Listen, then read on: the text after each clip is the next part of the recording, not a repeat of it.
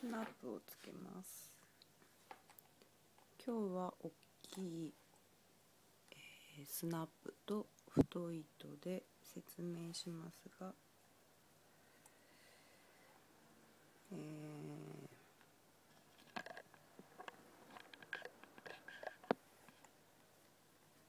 ー、糸の太さは付属の大きさによって書いてください。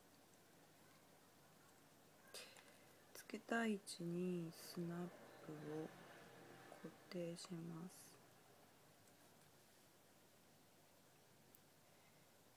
えー、そしたら内側の見えない位置から針を刺して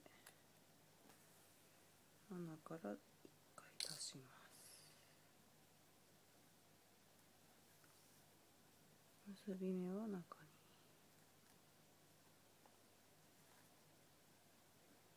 穴の左側から糸を出します。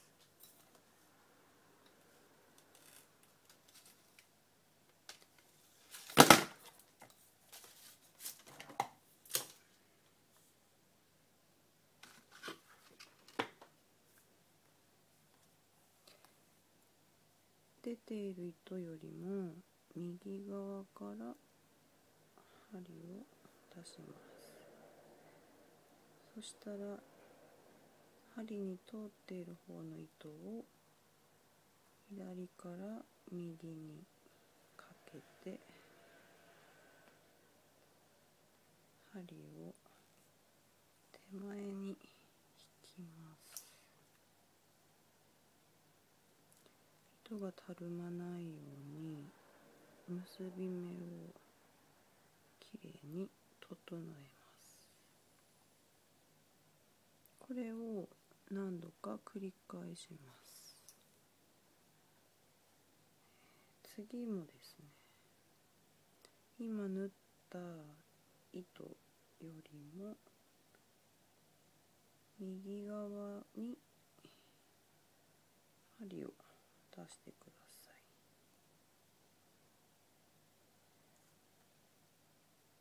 針に通ってる方の糸を左から右にかけて針を手前に引きます。結び目ができたのを確認してを整えてください次の穴へ移動する時にはそのまま移動すると糸が見えてしまうので今塗った根元に針を刺して生地の内側を通すようにして次の穴へ移動します。